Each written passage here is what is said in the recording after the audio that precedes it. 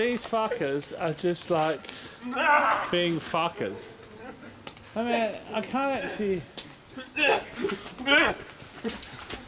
There he goes.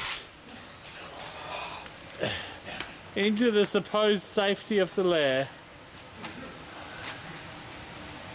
Um, for what actually happened, if you guys don't know, is uh, chicken threw that into Knoxx's balls. Like a rubber hand.